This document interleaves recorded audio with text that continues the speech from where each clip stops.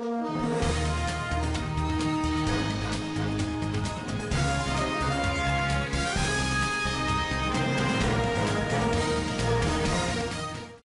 Sekeleni, the father of Dr. Nandipha Magudumana, may now exhale in relief after the National Prosecuting Authority dismissed the murder accusation brought against him.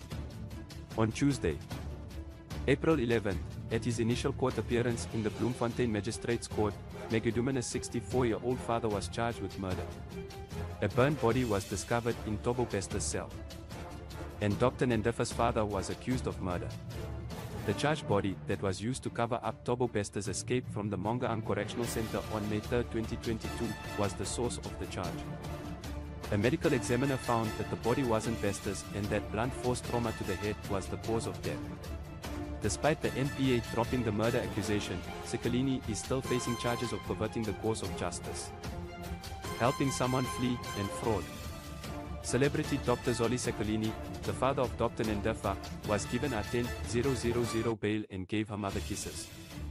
According to a companion item from Briefly News, Dr. Nandipha Magudumana and her father, Zoli Cornelius Sekeleni, appeared in the Bloemfontein Magistrates Court for their part in Thabo Bester's prison break at their bail hearing.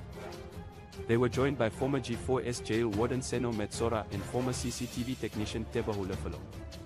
For the first time since their arrest on Monday, April 17, Dr. Nandipha and her father appeared in court together.